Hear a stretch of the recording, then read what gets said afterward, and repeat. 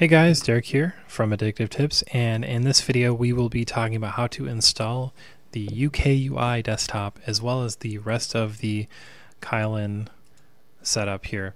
So we're doing this through Ubuntu, but I, if you look at my article here, we also cover it for Debian as well as Arch Linux and the source code.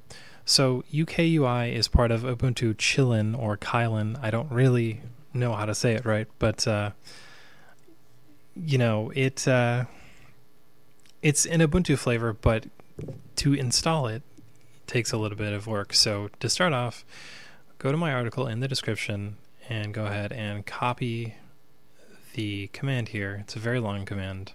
Once the command is copied, we can go to the terminal here and we can paste it in and install the UKUI.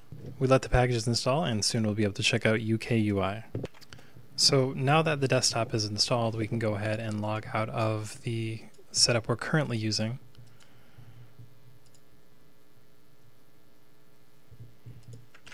Now on the login screen, you're going to want to click the gear icon and then click UKUI. Enter your password and you will be able to log in to the new UKUI desktop environment.